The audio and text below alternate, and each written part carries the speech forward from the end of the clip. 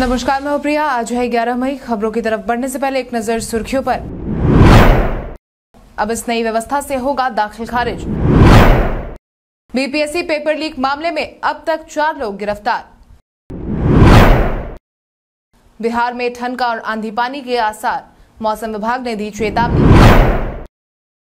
Mushroom उत्पादन में देश में नंबर वन राज्य बना बिहार। बिहार में अब छठी कक्षा से ही होगी आर्टिफिशियल इंटेलिजेंस की पढ़ाई। अब चले बढ़ते हैं बिहार की 25 बड़ी खबरों की ओर विस्तार से। अब इस नई व्यवस्था से होगा दाखिल खारिज।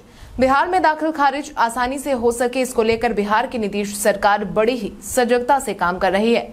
इसी कड़ी में अब नीतीश सरकार ने दाखिल खारिज के मामले में नई व्यवस्था को लागू करने का ऐलान किया है, जिसके तहत ही अब बिहार में दाखिल खारिज में ऑड इवन का प्रयोग होने वाला है।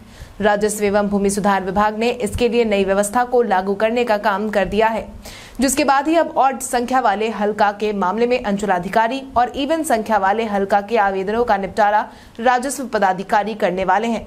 इसे प्रभावी बनाने के लिए ही अब सॉफ्टवेयर का निर्माण किया जा रहा है। एनआईसी ने इसकी टेस्टिंग का काम भी अब शुरू कर दिया है। कई नए फीचर जोड़े गए हैं। राजस्व एवं भूमि सुधार विभाग से पत्र मिलते ही उम्मीद है कि मई के अंतिम सप्ताह तक सॉफ्टवेयर को विभाग को सुपुर्द कर दिया जाएगा। आज बिहारी पहचान में हम बात करेंगे पवन के श्रीवास्तव की। पवन के श्रीवास्तव एक फ़िल्म निर्माता, लेखक, ब्लॉगर और कार्यकर्ता हैं, जिनका जन्म उन्नीस सौ बयासी में भारत के बिहार राज्य के मरहौरा शहर में हुआ था। हाई स्कूल की पढ़ाई पूरी करने के बाद वो आगे की शिक्षा के लिए इलाहाबाद चले गए। और फिर दिल्ली में काम करने और कंप्यूटर विज्ञान का अध्ययन करने के लिए चले गए। वो 2008 में चले गए और सामाजिक मुद्दों पर सहायता करने वृत्त चित्र बनाने और प्रत्यक्ष नाटकों के लिए बिहार वो फिर हालाँकि लौटे थे। पवन, बिहार की पहली स्वतंत्र भीड़ वित्त पोषित फ़िल्म नया पाटा के निदेशक भी हैं। बीपीएससी पेपर लीक मामले में अब तक चार लोग गिरफ़्तार। सड़सठवीं बीपीएससी पीटी परीक्षा के पेपर लीक हो जाने के मामले में आर्थिक अपराध इकाई ने मंगलवार को बड़ी कार्रवाई की है। इसके तहत ही ईओयू ने बड़हरा के बीडीओ जयवर्धन गुप्ता वीर कुंवर सिंह कॉलेज, आरा के प्रिंसिपल योगेंद्र सिंह, परीक्षा नियंत्रक समेत कुल चार लोगों को गिरफ़्तार कर दिया लंबी पूछताछ के बाद ये गिरफ्तारी की गई है। चारों को लेकर ईओयू की टीम कोर्ट भी पहुँची थी। बता दें कि सोमवार को मामले की जाँच के लिए डीजीपी द्वारा गठित एसआईटी टीम ने आरा पहुंचकर जाँच की थी। जाँच के क्रम में वीर कुंवर सिंह कॉलेज के प्रिंसिपल, परीक्षा नियंत्रक, दो प्रोफेसर और ड्यूटी पर तैनात मजिस्ट्रेट और पुलिस कर्मियों से पूछताछ की गई थी। जुलाई तक सभी थानों में इतने पुलिस बलों की होगी नियुक्ति। आने वाले समय में बिहार की पुलिसिंग व्यवस्था और ज़्यादा दुरुस्त होने वाली है क्योंकि बिहार पुलिस को जल्द ही अब 12,000 से अधिक सिपाही मिलने वाले हैं। मीडिया में चल रही खबरों के अनुसार राज्य के विभिन्न प्रशिक्षण संस्थानों में ट्रेनिंग ले रहे इन प्रशिक्षु सिपाहियों की जुलाई में पासिंग आउट परेड का आयोजन किया जाएगा। इसके बाद ही इनकी तैनाती जिला पुलिस बल और बिहार पुलिस विशेष सशस्त्र की विभिन्न बटालियनों में होने वाली है। बिहार पुलिस में योगदान देने के बाद बारह प्रशिक्षु सिपाही नौ अगस्त से बुनियादी प्रशिक्षण प्राप्त प्राप्त कर रहे हैं। बिहार विशेष सशस्त्र पुलिस के बटालियन मुख्यालय और जिला पुलिस केंद्रों के कुल 24 सेंटरों पर यह प्रशिक्षण दिया जा रहा है। केरल लोक सेवा आयोग ने निकाली रिक्तियाँ। केरल लोक सेवा आयोग ने police constable India reserve battalion commando wing के कुल मिलाकर एक सौ निन्यानवे पद पर आवेदन की मांग की है। इन पदों के लिए शैक्षणिक योग्यता की बात करें तो अभ्यर्थियों के पास टेन प्लस टू या एस एस एल सी या समकक्ष डिग्री होना अनिवार्य है। इच्छुक और योग्य उम्मीदवार अंतिम तारीख 18 मई 2022 तक आधिकारिक वेबसाइट केरला एन पर जाकर आवेदन भर सकते हैं। इसके साथ ही आप इन पदों से जुड़ी तमाम जानकारी नीचे डिस्क्रिप्शन बॉक्स में दिए गए यूआरएल से जाकर ले सकते हैं। बिहार में मिड डे मील की खुली पोल। बिहार में मिड डे मील की पोल खुल गई है। बिहार में लगभग 3500 से ज़्यादा स्कूलों के बच्चों के सर्वेक्षण किए गए थे। उसमें खुलासा हुआ है। कि इन्हीं स्कूल के लगभग छह लाख बच्चों को मिड डे मील मिल ही नहीं रहा है। अधिकारियों से पूछने पर कहीं चावल नहीं है तो कहीं पानी का अभाव बताया गया है। नई व्यवस्था में वेंडर की तरफ़ से तेल मसाला आदि सामग्री की आपूर्ति भी नहीं हो रही है। कुछ स्कूलों में रसोई गैस की अभाव से ही बच्चों का खाना नहीं बन पा रहा है। कई तो ऐसे भी स्कूल है जहाँ कोरोना से रसोइयों की जान चली गई थी और नया रसोईया अभी तक नहीं रखा गया है। रसोईया नहीं होने पर भी मिड डे मील से बच्चे वंचित रह जा रहे हैं। बिहार में ठनका और आंधी पानी के आसार। बिहार में ठनका और आंधी पानी के आसार बनते हुए दिखाई दे रहे हैं। इसकी वजह स्थानीय मौसमी दशा, गुजर रही ट्रफ लाइन और पूर्वी उत्तर प्रदेश में सक्रिय चक्रवाती दबाव का सक्रिय होना है। ग्यारह तारीख से काल वैशाखी के साथ साथ आसानी तूफ़ान के प्रभाव से उत्तर पूर्वी बिहार में तेज हवाओं के साथ बारिश होने की आशंका है। आईएमडी पटना ने येलो अलर्ट जारी किया है। हालाँकि आईएमडी ने साफ़ किया है कि आसानी चक्रवात का एक क्षेत्र विशेष पर ही थोड़ा बहुत असर संभावित है। आसानी चक्रवाती तूफ़ान की आशंका को देखते हुए आपदा प्रबंधन विभाग ने सभी जिलों को अलर्ट रहने को भी कहा है। विभाग ने कहा है कि इस तूफ़ान से निपटने के लिए हर संभव आवश्यक कार्रवाई की जाए और सतत निगरानी रखी जाए। मशरूम उत्पादन में देश में नंबर वन राज्य बना बिहार। बिहार में मशरूम उत्पादन को लगातार बढ़ावा देने का काम हो रहा है। यही कारण भी है कि देश भर में मशरूम उत्पादन ने एक स्थान हासिल कर लिया है। राष्ट्रीय बागवानी बोर्ड की तरफ़ से जारी नवीनतम आंकड़ों के अनुसार बिहार में 2021-22 में अट्ठाईस हज़ार टन से ज़्यादा मशरूम उत्पादन हुआ है। इस खबर के बाद जहाँ कृषि विभाग में खुशी देखी जा रही है, वहीं मशरूम उत्पादक किसानों की मेहनत भी रंग लाई है। एक अनुमान के मुताबिक पूर्वोत्तर राज्यों में बिहार के मशरूम की सबसे ज़्यादा मांग है। इसके अलावा झारखंड और उत्तर प्रदेश में भी यहाँ के मशरूम की डिमांड है। यानी कि देश के कुल मशरूम उत्पादन में बिहार 10 प्रतिशत का योगदान देता है। बिना हिले डुले घंटों खड़े रह सकते हैं बिहार के ये स्टैचू आर्टिस्ट। आपने स्टैचू आर्टिस्ट का तिरंगी अंदाज खूब देखा होगा। यूरोप के कई देश में इसका खूब प्रचलन भी है। इस यार्ड में कलाकार किसी पब्लिक प्लेस या टूरिस्ट प्लेस में स्टैचू की मुद्रा में घंटों खड़े रह सकते हैं। यही आर्ट अब भारत में भी बढ़ने लगा है। इसी कड़ी में अब बिहार के कटिहार के रहने वाले एक युवक नयन कुमार रॉय पिछले कई दिनों से पटना के गांधी मैदान के सभ्यता द्वार के नीचे एक ही मुद्रा घंटों खड़े रहकर स्टैचू आर्ट का प्रदर्शन करते हैं। नयन ने बताया है कि वो बिहार के संभवत पहले स्टैचू आर्टिस्ट हैं, जो प्रतिदिन किसी एक जगह को चुनकर अपना परफॉर्मेंस करते हैं। बिहार में अब ये दो पेड़ लुप्त होने की कगार पर बिहार में फालसा और अंजन के पेड़ विलुप्त होने की कगार पर है और राज्य सरकार ने इसका कारण जानने के लिए सर्वेक्षण कराने का फैसला किया है। बिहार राज्य जैव विविधता बोर्ड के अध्यक्ष डी के शुक्ला ने कहा कि फालसा सबसे पहले गया में मिला था और वहाँ से बौद्ध विद्वान उसे वाराणसी और फिर दुनिया भर में ले गए। उन्होंने कहा कि फालसा का फल पकने पर बैंगनी रंग का होता है और इसका आकार एक से दो सेंटीमीटर तक का है। शुक्ला ने कहा है कि ये फल विभिन्न प्रकार के विटामिन से भरा होता है और इसमें खनिज भी होते हैं और ये आसानी से पचने योग्य भी होता है। बिहार में अब छठी क्लास से ही होगी आर्टिफिशियल इंटेलिजेंस की पढ़ाई। बिहार के स्कूल में अब छठी कक्षा से ही आर्टिफिशियल इंटेलिजेंस की पढ़ाई शुरू होने वाली है। इसको लेकर सीबीएसई ने अपना करिकुलम तैयार कर लिया है। इसका पाठ्यक्रम भी जारी कर दिया गया है। इसके साथ ही बोर्ड ने सभी कक्षाओं के स्किल विषयों का करिकुलम 2022-23 जारी किया है। बोर्ड ने इसी सत्र में इसे स्कूलों में लागू करने का निर्देश भी दिया है। स्किल विषयों के प्रति छात्रों का रुझान बढ़ाने के लिए बोर्ड ने ऑनलाइन स्टडी मटेरियल भी दिया है। छठी से आठवीं कक्षा तक के लिए स्किल विषयों को ऑनलाइन जारी कर दिया गया। वहीं दसवीं से बीस और बारहवीं में उनचालीस स्किल विषयों का करिकुलम बोर्ड ने तैयार किया है। इस बार दसवीं में तीन और बारहवीं में चार नए स्किल कोर्स को जोड़ा गया है। स्वास्थ्य सुरक्षा समिति में हेल्थ केयर निदेशक की जल्द होगी बहाली। बिहार स्वास्थ्य सुरक्षा समिति में हेल्थ केयर निदेशक की बहाली जल्द ही होने वाली है। बिहार में आयुष्मान भारत, प्रधानमंत्री जन आरोग्य योजना और मुख्यमंत्री जन आरोग्य योजना को लागू करने के लिए हेल्थ केयर निदेशक की बहाली की जाएगी। मीडिया में चल रही खबरों के अनुसार बहाली की प्रक्रिया शुरू कर दी गई है और आवेदकों से आवेदन पत्र आमंत्रित किए गए हैं। इसके लिए मान्यता प्राप्त संस्थान से एमबीबीएस या फिर बीडीएस करने वाले अभ्यर्थियों को उपयुक्त माना गया था। साथ ही अभ्यर्थियों के पास हेल्थ इंश्योरेंस स्कीम हैंडलिंग का पाँच साल का अनुभव होना भी अनिवार्य है। शेखपुरा का कुसैडी गाँव के पंचमुखी शिवलिंग में आपको देखने को मिलेगा बहुत कुछ खास। कुसैडी गाँव में स्थापित पंचमुखी शिवलिंग अपने आप में अद्भुत शिव मंदिर है। सैकड़ों वर्ष पहले स्थापित ये शिवलिंग लोगों के बीच आस्था का केंद्र है। इस अति दुर्लभ तथा प्राचीन पंचमुखी शिवलिंग का दर्शन करने के लिए शेखपुरा जिला के अलावे पूरे प्रदेश से लोग आते हैं। ये अपनी मन्नतों को पूरा करने वाले भगवान शंकर का एक प्रतिरूप में सर्वमान्य है। यहाँ हर महीने सोमवार को अच्छी खासी श्रद्धालुओं की भीड़ देखी जाती है, परंतु सावन महीने के हर सोमवार पर यहाँ हज़ारों की तादाद में भक्तों की भीड़ भी उमड़ती है।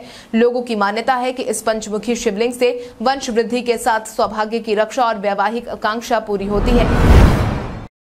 बड़े शहरों के तर्ज पर नालों को ढककर बनाई जाएगी सड़क। बिहार के अन्य शहरों में नालों को अब राजधानी पटना की तर्ज पर ढककर बनाने की तैयारी हो रही है। मीडिया में चल रही खबरों के अनुसार शहरों में लग रहे जाम की समस्या से निजात दिलाने के लिए ही बिहार की नीतीश सरकार ने ये योजना बनाई है, जिसके बाद ही अब ऐसे नालों को चिन्हित किया गया है, जिन्हें ज़रूरत के अनुसार ढककर सड़क फ्लाईओवर या एलिवेटेड रोड बन सके। जैसा कि आपको पता है कि राज्य के शहरी क्षेत्रों में जाम की समस्या विकराल होती जा रही है। इसको देखते हुए ही तय किया गया है कि अर्बन ट्रांसपोर्ट पर फोकस कर काम किया जाए। इसके तहत शहरी क्षेत्र में सर्वे किया जाएगा कि आखिरकार जाम की समस्या का मूल कारण क्या है। बिहार राज्य पुल निर्माण निगम ने इस योजना पर काम करना शुरू कर दिया है। अब पटना से उत्तर प्रदेश जाना हो जाएगा आसान। बिहार में अब जल्द ही एक और बहुप्रतीक्षित सड़क पुल का सपना साकार होने वाला है। जी हाँ, आपने सही सुना। पटना से भोजपुर को जोड़ने वाला सोन नदी पर बना कोयलवर पुल के दूसरे लेन यानी कि डाउनस्ट्रीम का निर्माण कार्य पूरा हो चुका है। और अब 14 मई को इसका उद्घाटन होने वाला है। केंद्रीय सड़क एवं परिवहन राजमार्ग मंत्री नितिन गडकरी अब जल्द ही इस पुल का उद्घाटन करने वाले हैं। वो वीडियो कॉन्फ्रेंसिंग के माध्यम से पुल के दूसरे लेन का शुभारंभ कर इसे जल्द ही राष्ट्र को सौंपने वाले हैं। जिसके बाद ही अब सोन नदी पर बना कोयलवर पुल बिहार और उत्तर प्रदेश को जोड़ने वाला सबसे प्रमुख राजमार्ग होने वाला है। इसके अपस्ट्रीम लेन का उद्घाटन पहले ही हो चुका है। दस दिसंबर दो से अपस्ट्रीम लेन पर आवागमन भी शुरू हो चुका है। अब डाउनस्ट्रीम के शुरू होने से हर दिन लाखों लोगों का आवागमन सुगम हो जाएगा। बिहार में जातीय जनगणना में गधों की हुई एंट्री। जातीय जनगणना का मुद्दा बिहार में गरमाया हुआ है। भले ही इस मामले को लेकर बिहार में नीतीश कुमार और विपक्षी दल इसके पक्ष में हैं, लेकिन अभी भी जनगणना नहीं हो सकी है। इसी मामले को लेकर अब हिंदुस्तानी आवाम मोर्चा के प्रमुख और राज्य के पूर्व सीएम जीतन राम मांझी ने बड़ी बात कही है जिसके तहत उन्होंने दोनों सरकारों पर निशाना साधते हुए एक ट्वीट जारी किया है। उन्होंने एक अखबार की कटिंग पोस्ट की है जिसमें मध्य प्रदेश है के विभिन्न जिलों में गधों की संख्या दिखाई गई है। उन्होंने लिखा है कि जाति आधारित मुल्कों में गधों की गिनती हो सकती है पर जातियों की गिनती नहीं की जाती। कुछ लोगों को डर है कि अगर जातियों की गिनती हो गई तो दुनिया को पता लग जाएगा कि हमारे यहाँ किन लोगों ने किन की हकमारी कर देश को विकास करने से रोक रखा है। 25 मई से जगमगाएँगे गंगापथ। राजधानी वासियों के लिए जल्द ही दीघा से एएन सिन्हा के बीच में गंगापथ की सौगात मिलने वाली है। इस सड़क के निर्माण का काम अंतिम चरण में है। सड़क पर दूसरी लेयर का अलकतरा लगाने का काम हो रहा है। दो जून को संभावित उद्घाटन भी है। इसको लेकर बचे हुए काम को तेज़ी से पूरा किया जा रहा है। आपकी जानकारी के लिए आपको बता दें एएन सिन्हा से पीएमसीएच तक एलिवेटेड रोड है। उसे भी फाइनल टच दिया जा रहा है। गंगा पथ पर रोशनी की कमी नहीं हो, इसके लिए बिजली खंभा लगाने का काम तेज़ी से हो रहा है। 25 मई तक लगभग 500 बिजली खंभे पर बल्ब लगाकर दीघा से पीएमसीएच तक गंगा पथ को दूधिया रोशनी में जगमग करने की योजना है। अभी सड़क के बीचों बीच बिजली का खंभा लगाने का काम हो रहा है। इस बार भी जर्दालू आम और शाही लीची का स्वाद चखेंगे राष्ट्रपति और पीएम मोदी। राष्ट्रपति रामनाथ कोविंद और प्रधानमंत्री नरेंद्र मोदी इस बार मुजफ्फरपुर की प्रसिद्ध शाही लीची और भागलपुर के जर्दालू आम का स्वाद चखेंगे। मीडिया में चल रही खबरों के अनुसार लीची और आम की खास पैकिंग कराकर दिल्ली भेजा जाएगा। सबसे पहले लीची बाग का चयन होगा। एडीएम की अध्यक्षता में कमेटी बनेगी। माननीय दो साल बाद मुजफ्फरपुर की शाही लीची का स्वाद ले सकेंगे। राज्य सरकार ने इस साल लीची और आम की सौगात दिल्ली भेजने का निर्णय लिया है। मंत्रिमंडल सचिवालय ने दिल्ली सौगात भेजने का निर्णय लेते हुए मुजफ्फरपुर और भागलपुर जिला प्रशासन को तैयारी के आदेश भी दिए हैं। तेजस्वी ने सीएम नीतीश को दिया बहत्तर घंटे का अल्टीमेटम। बिहार में जातीय जनगणना को लेकर सियासत तेज हो गई है। बिहार विधानसभा में नेता प्रतिपक्ष तेजस्वी यादव ने एक बार फिर से नीतीश सरकार को घेरा है। इतना ही नहीं, इस बार तो तेजस्वी ने सरकार को अल्टीमेटम तक दे दिया। पटना में प्रेस को संबोधित करते हुए नेता प्रतिपक्ष तेजस्वी यादव ने कहा कि नीतीश कुमार जातीय जनगणना पर अगले बहत्तर घंटे में अपना स्टैंड साफ़ करे। अब बहुत हुआ। अब देरी बर्दाश्त नहीं की जा सकती है। नीतीश सरकार को तत्काल कैबिनेट की बैठक बुलाकर बिहार में जातीय जनगणना कराने पर फैसला लेना होगा। अगर ऐसा नहीं होता है तो हम सड़क पर उतरेंगे। भारतीय रेल ने शुरू की बेबी बर्थ। अब भारतीय रेलवे उन महिलाओं को खास सुविधा देने जा रहा है जिनके बच्चे फ़िलहाल छोटे हैं। अक्सर ऐसा देखा गया है कि ट्रेन में सफ़र करने के दौरान अगर किसी महिला के पास कोई नवजात शिशु होता है या कोई छोटा बच्चा होता है तो उसे सोने में तकलीफ़ होती है। राहत की बात यह है कि अब ऐसा नहीं होने वाला है। दरअसल ट्रेन में सफ़र के दौरान महिलाओं को होने वाली समस्याओं को देखते हुए सीट के साथ ही बेबी बर्थ बनाया गया है। महिला के लिए आरक्षित नीचे की बर्थ के साथ बच्चे की बर्थ की व्यवस्था की गई। हालाँकि फ़िलहाल परीक्षण के तौर पर कुछ ट्रेन में इसे लगाया गया है। जानकारी के अनुसार लखनऊ मेल में दो बर्थ की व्यवस्था की गई और रेलवे इसके लिए कोई अतिरिक्त किराया नहीं लेगा। भारत के इतिहास में आज की तारीख कई कारणों से दर्ज। मैसूर और ब्रिटेन के शासक टीपू सुल्तान के बीच शांति संधि पर हस्ताक्षर सत्रह सौ चौरासी में आज के दिन हुआ। दिल्ली में अठारह को सिपाही विद्रोह भड़का। स्वतंत्रता संग्राम के पहले युद्ध के दौरान भारतीय सिपाहियों ने अंग्रेज़ों के अधिकारियों से दिल्ली पर अठारह में कब्जा कर लिया। राष्ट्रपति राजेंद्र प्रसाद ने उन्नीस सौ इक्यावन में नवनिर्मित सोमनाथ मंदिर का उद्घाटन किया। भारत ने राजस्थान के पोखरन में तीन परमाणु परीक्षण उन्नीस में किए। जनसंख्या घड़ी के मुताबिक 2000 में भारत की जनसंख्या एक अरब पहुँची। संयुक्त राज्य अमेरिका की प्रक्षेपास्त्र रक्षा प्रणाली को भारत का समर्थन, अमेरिकी संसद ने संयुक्त राष्ट्र की देय राशि 2001 में रोकी। भारतीय सर्वोच्च न्यायालय के सबसे वरिष्ठ न्यायाधीश एस एच कपाड़िया को 2010 में राष्ट्रपति प्रतिभा पाटिल ने अड़तीसवें प्रधान न्यायाधीश के रूप में शपथ दिलाई। वो इस पद पर उनतीस सितंबर 2012 तक रहेंगे। भारत और पाकिस्तान ने लाहौर और अमृतसर के बीच बस सेवा शुरू करने के लिए 2011 में सहमति बनी। इन यूज़र्स के लिए बंद होने वाला है यूट्यूब। सस्ते फ़ोन के लिए आया यूट्यूब गो ऐप अगस्त 2022 में बंद होने वाला है। दरअसल 2016 में इसे किफायती एंड्रॉइड गो स्मार्टफ़ोन के लिए पेश किए गए यूट्यूब ऐप के हल्के वर्जन के तौर पर लॉन्च किया गया था। जो पहले से ही यूट्यूब गो ऐप का उपयोग कर रहे हैं, उन्हें अब सलाह दी जाती है कि वो या तो वेब ब्राउज़र के माध्यम से यूट्यूब तक पहुँचे या गूगल प्ले स्टोर से मेन यूट्यूब ऐप इंस्टॉल करे। गो ऐप अनिवार्य रूप से मुख्य यूट्यूब ऐप का ही एक लाइट वर्जन था। 26 दिन बाद भी के जी एफ़ दो की कमाई ने चौंकाया। Yash starrer K G F chapter two की रिलीज़ को कुछ ही दिनों में एक महीने हो जाएँगे। आमतौर पर इतने वक्त में फ़िल्में सिनेमाघरों से उतर जाती हैं। वहीं के जी एफ़ दो न केवल टिकी हुई है, बल्कि अभी भी शानदार कमाई का सिलसिला जारी रखे हुए है। हालाँकि वीकडेज में ज़रूर रफ्तार थोड़ी धीमी पड़ी है, लेकिन वीकेंड पर फ़िल्म को देखने दर्शक सिनेमाघरों तक खींचे चले आ रहे हैं। फ़िल्म के छब्बीसवें दिन का बॉक्स ऑफ़िस कलेक्शन आ गया है। तो चलिए बताते हैं कि के जी एफ़ दो ने अभी तक कुल कितने करोड़ का बिज़नेस किया है। के जी एफ़ दो ने वर्ल्ड वाइड ग्यारह करोड़ का बिज़नेस कर लिया। अंग्रेज़ी वेबसाइट बॉक्स ऑफ़िस इंडिया के मुताबिक फ़िल्म ने अपने चौथे सोमवार को लगभग दो दशमलव पाँच शून्य करोड़ का कलेक्शन किया है। इस तरह 26 दिन बाद हिंदी वर्जन ने लगभग 415 करोड़ जुटा लिए हैं। उप मुख्यमंत्री ने पूर्णिया एयरपोर्ट के चालू होने का बताया समय। बिहार में चौथा एयरपोर्ट पूर्णिया में जल्द ही शुरू होने वाला है, क्योंकि ज़मीन अधिग्रहण का काम पूरा हो गया है। साथ ही एविएशन विभाग को ज़मीन सौंपने की तैयारी भी शुरू कर दी गई है। जिसके संकेत खुद बिहार के उप मुख्यमंत्री तारकिशोर प्रसाद ने दिए हैं। इस दौरान उन्होंने कहा कि ज़मीन अधिग्रहण की प्रक्रिया पूरी कर ली गई है। उक्त ज़मीन को एयरपोर्ट को सौंपने के साथ ही यहाँ एयरपोर्ट विकसित करने की प्रक्रिया शुरू कर दी जाएगी। डिप्टी सीएम ने बताया कि पूर्णिया एयरपोर्ट को विकसित होने में एक से दो साल का समय लग सकता है। अब आइए जानते हैं सराफा बाज़ार और पेट्रोल डीजल के क्या थे भाव। अगर हम सराफा बाज़ार की बात करें तो सोने का भाव 11 मई को 22 कैरेट के लिए प्रति दस ग्राम सैतालीस हज़ार पाँच सौ साठ रुपए था। वहीं 24 कैरेट के लिए प्रति दस ग्राम इक्यावन हज़ार तीन सौ बीस रुपए था। इसके साथ ही अगर हम चांदी की बात करें तो चांदी का भाव प्रति किलो बासठ हज़ार पाँच सौ रुपए था। इसके साथ ही राजधानी पटना में पेट्रोल की कीमत एक सौ सोलह दशमलव तीन तीन रुपए प्रति लीटर थी। वहीं डीजल की कीमत एक सौ एक दशमलव एक आठ रुपए प्रति लीटर था। लखनऊ सुपर जायंट्स को बासठ रनों से हराकर गुजरात टाइटंस प्लेऑफ में। गुजरात टाइटंस आईपीएल 2022 के प्लेऑफ में पहुँचने वाली पहली टीम बन गई है। मंगलवार को खेले गए मुकाबले में गुजरात ने लखनऊ सुपर जायंट्स को बासठ रन से हरा दिया। टॉस जीतकर पहले बल्लेबाजी करते हुए गुजरात ने 20 ओवर में चार विकेट खोकर एक सौ चौवालीस रन बनाए। शुभमन गिल ने सबसे ज़्यादा तिरसठ रनों की पारी खेली। जवाब में लखनऊ की टीम तेरह दशमलव पाँच ओवर में बयासी रन के स्कोर पर सिमट गई। दीपक हुड्डा ने सबसे ज़्यादा सत्ताईस रन बनाए। लेग स्पिनर राशिद खान ने चार विकेट लिए। यश दयाल और आर साई किशोर को दो दो विकेट मिले। 145 रन के साधारण टारगेट का पीछा करते हुए लखनऊ की शुरुआत बेहद ही खराब रही। 24 रन तक पहुँचते पहुँचते क्विंटन डिकॉक और कप्तान के राहुल दोनों पवेलियन लौट गए थे। डिकॉक को यश दयाल ने, जबकि राहुल को मोहम्मद शमी ने पवेलियन की राह दिखाई। पहला मैच खेल रहे करण शर्मा, यश दयाल का दूसरा शिकार बने।